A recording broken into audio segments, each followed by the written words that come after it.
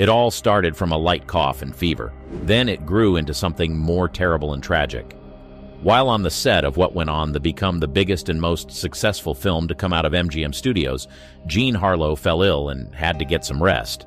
But less than two days later, she passed away, even after being rushed to the hospital.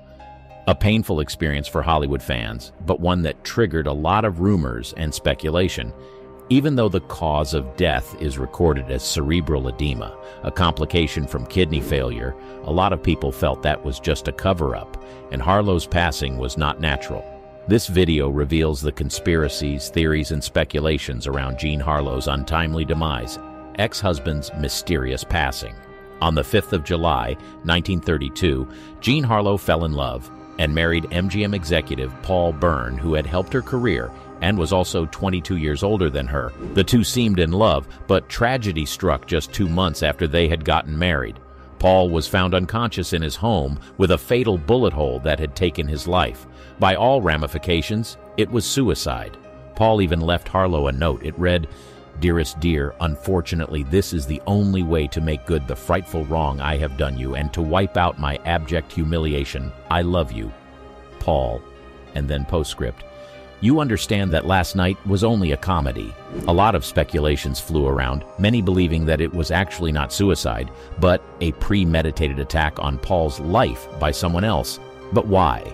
One theory was that Bern, who was a well-known Hollywood producer and director, may have been under stress due to financial and professional problems. But more interestingly, the most pronounced of the rumors is that Bern's death may have been related to his relationship with Harlow.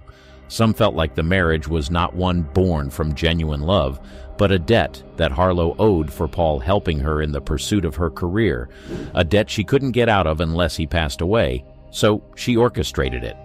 More speculation posited that the couple may have had a troubled marriage, or that Bern may have been struggling with feelings of inadequacy or jealousy in light of Harlow's rising fame. Some have also suggested that Bern may have been snuffed out by Harlow's powerful and influential agent, who was rumored to have controlled much of her career. And some of Paul's influential friends who believed Harlow was behind Paul's demise took revenge and made hers look controversial too. However, the facts of the matter remains that there was a suicide note. There was a gunshot wound that looked self-inflicted, and every rational evidence seemed to point to the fact that Paul had taken his own life. On the other hand, people believed that Harlow owed Paul a lot, and after marrying him didn't want to hold up her own part of the bargain, so she arranged for his demise. Despite the speculation, there is no clear evidence to support any of these theories, and the official cause of Bern's death remains suicide by gunshot. Harlow, a victim of a Hollywood tragic craze. During the 1930s, Hollywood was plagued by a number of scandals. Some of the most notable ones occurred around the time of Jean Harlow's demise in 1937. For example, the demise of Thelma Todd, another Hollywood actress who passed away in 1935 under very mysterious circumstances. Although her death was ruled accidental, many suspect foul play, and rumors of a cover-up persisted.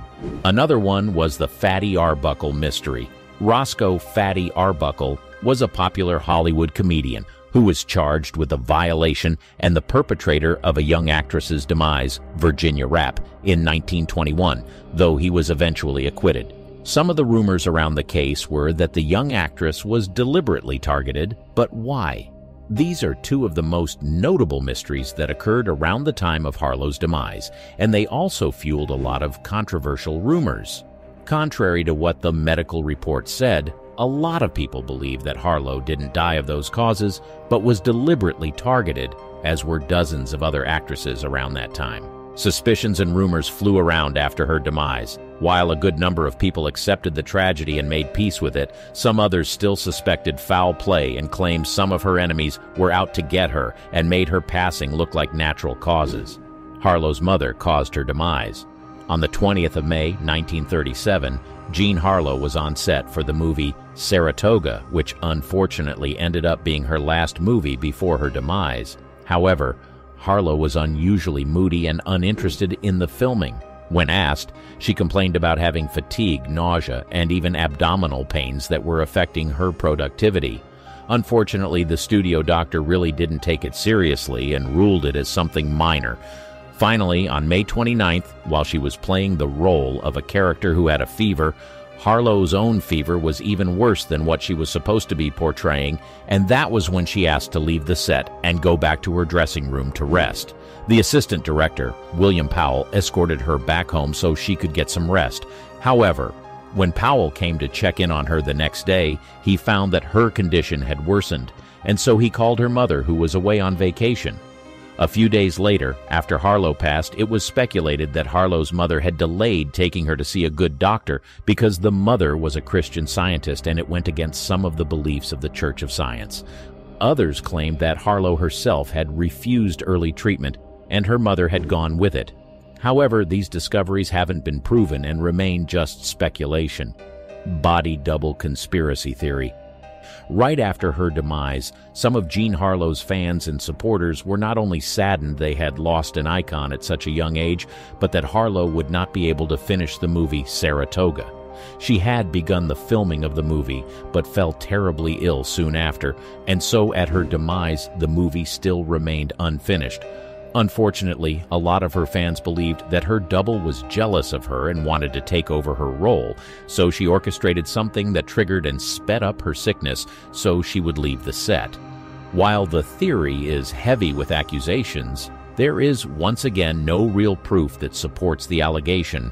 However, after her demise, Jean Harlow's character was replaced by three doubles Mary Dees for close up, Geraldine Dvorak for long shots, and Paula Winslow for dubbing Harlow's lines. On July 23, 1937, the film was released. It was barely two months since Harlow's demise, but the film went on to do incredibly well.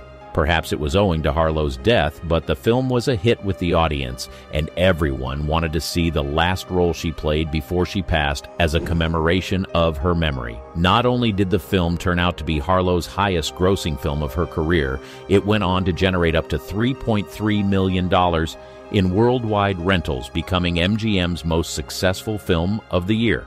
After her demise, Harlow was interred in the Great Mausoleum at Forest Lawn Memorial located in Glendale.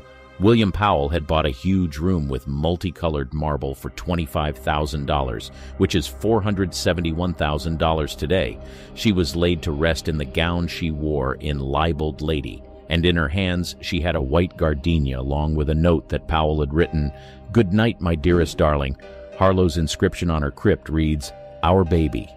Her passing was greatly felt at the studios, and an MGM writer said, The day baby died, there wasn't one sound in the commissary for three hours. Frequent co-star Spencer Tracy also wrote in his diary, Jean Harlow died, grand girl. What do you think about the circumstances around Jean Harlow's passing? Do you believe in any of the theories, or you believe it was all a tragic coincidence? Let us know in the comments.